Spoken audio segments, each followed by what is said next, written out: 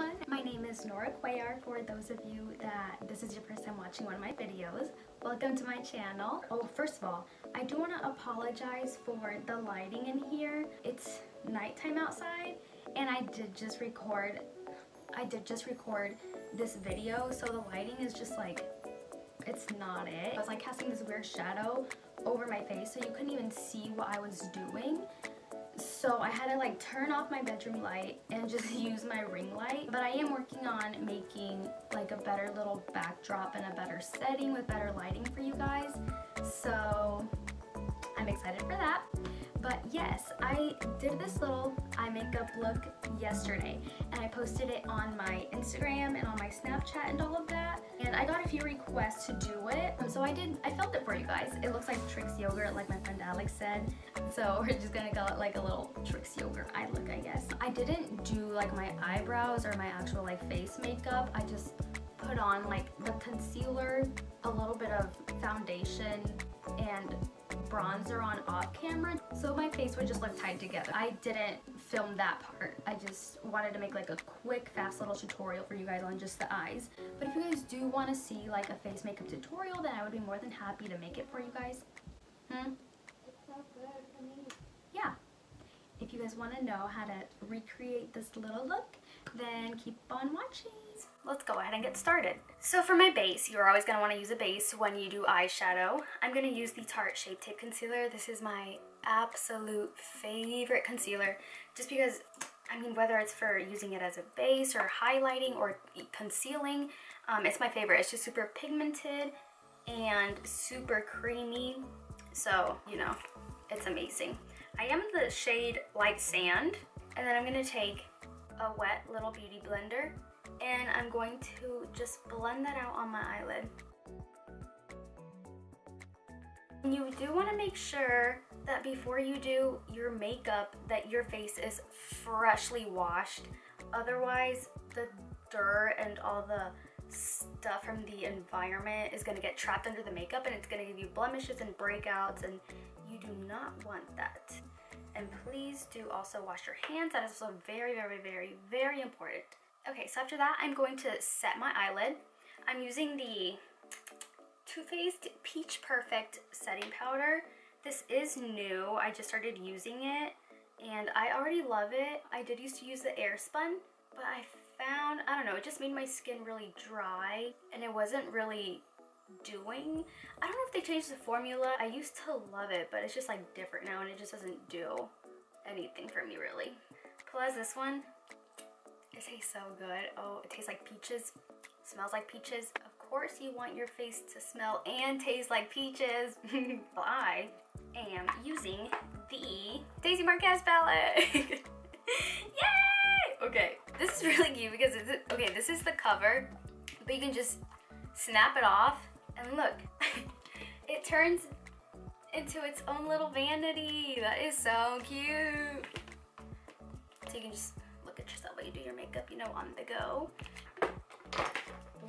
What I'm going to start with is a transition color, as always. You always want your transition color. It'll help blend your colors out right. It'll give you kind of like another little base, but for the actual colors. And I'm going to use Dulce.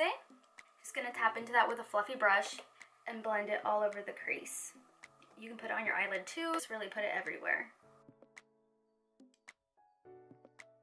Once you have your trans transition color on there, you're gonna dip into passion fruit. It looks like a little passion fruit color. You know, like the little passion fruit refreshers. Is that even a thing? I don't even know. I might be making that up. It might be the very berry one, but whatever. It looks like a fruit. Okay, you're gonna dip into that with another fluffy brush. And you're gonna wanna pack that color starting on your crease and just start buffing it out. Remember, this is the main color. This is going to be all over. These colors are pigmented, so I like to start with a little bit and just keep adding on just because it's better to, I mean, don't be scared of adding the color on there, but it's better to start off little by little, then ending up with too much and then not being able to blend your colors out right. So now with a more fluffy brush, this one is a little more dense, and this one's a little more fluffy. You're gonna wanna just basically do the same thing, but just really blend. I'm using like little windshield wiper motions mixed with little like swirlies. Ooh, blend the eyeshadow till your arm falls off. And right now, it's okay if you get it like a little over here, just like, it's okay if you go a little overboard because either way, you're gonna go in after and clean it up. So, just really pack that color on.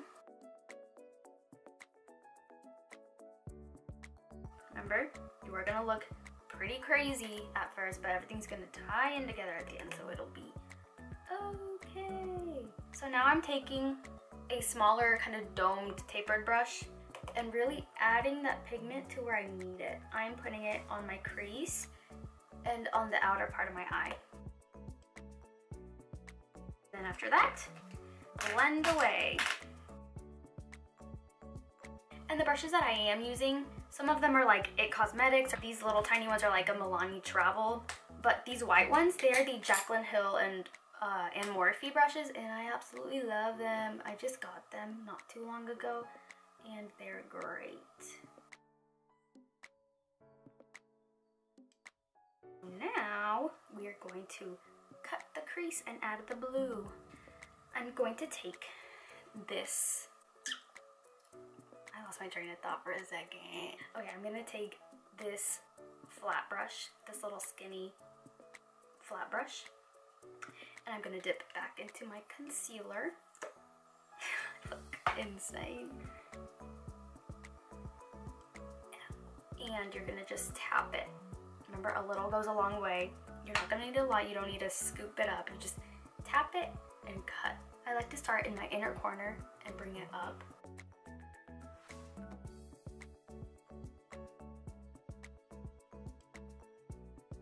Really put that concealer on so that your color will pop. I'm just gonna add a tiny bit more. It'll help the color stick and it'll help it pop.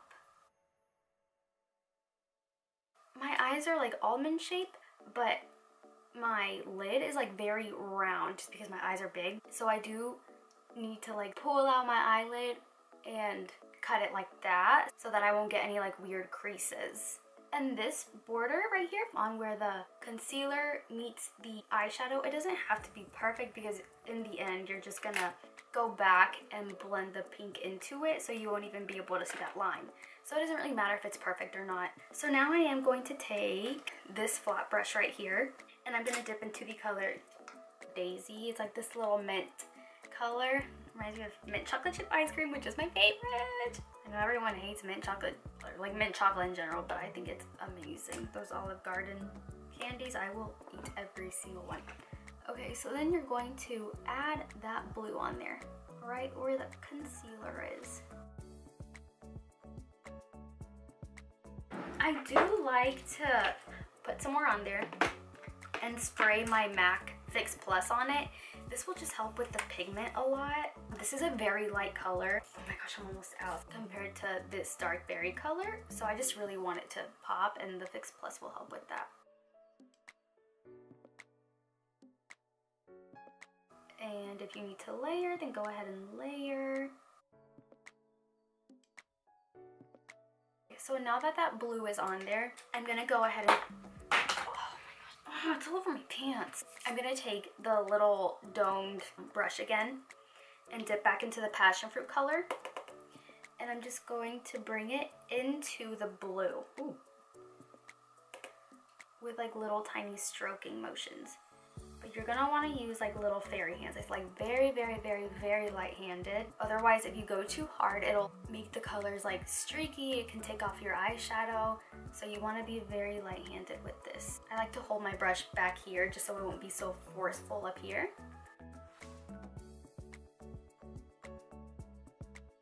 I'm just gonna take some more with my fluffy brush and really just add the finishing touches that I see that need to be added. So now that you're done with that, you're just gonna put some more concealer under here just to clean it up, just like this. Wow, go me. And then you're gonna blend that out with your bleach.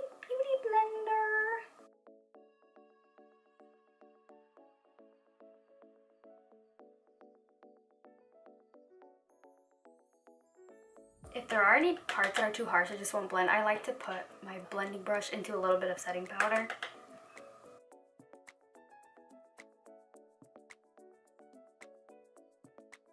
I'm gonna go ahead and put my lashes on off camera, so I'll be right back. I did go ahead and finish my other eye off camera. So yeah, these eyes are finished, but we are gonna go ahead and put a little bit of glitter on it. This is the Urban Decay Heavy Metal Glitter and Glam Rock. These are really cute. They have colorful shades and they also have like gold and silver and all that, but I'm using the silver one. So where I'm gonna apply it is up here, right above the blue on the inner corner and then down here past the blue. So you're just gonna apply a little line right where the blue is. You can see that? And then you're gonna apply another little line down here past the blue on the purple, like on your lash line. You won't be able to see the bottom one very much just because the eyelashes are in the way, but it does add something. And you do want to let this dry without opening your eyes too much because it does tend to get everywhere and then it can get like up here onto your purple and you don't really want that. So then after that, I'm going to put some color on my lower lash line. So what I'm going to do, I'm going to dip into the passion fruit color and I'm going to put this kind of like in the middle of my lower lash line if that makes sense. but I'm not gonna bring it all the way to the inner corner.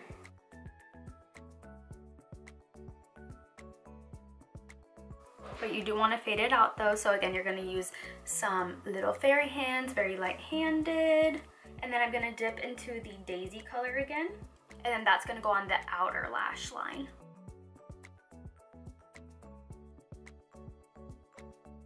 Just gonna blend those into each other. And I'm just gonna take the little brush that I used for setting my eyelid. I'm just gonna sweep under. Just to get anything off that shouldn't be there. All right, and then you're just gonna add mascara to your lower lash line. This makes like a big difference. It makes your eyes just go like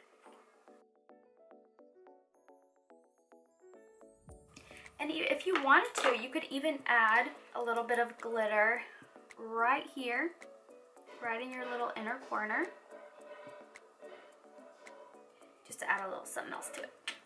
Yeah, this is the final, the final eye look. Let's just zoom in real quick. It takes forever to zoom in. Yeah, that is the, the finished little product. Um, so yeah, this completes today's little tutorial. Thank you guys so much for watching. I just want to thank everyone for all the love that you've given me on my past videos. It makes me so happy to see everyone's reactions when you tell me that like they're silly and that they're funny and that you guys laughed and all that.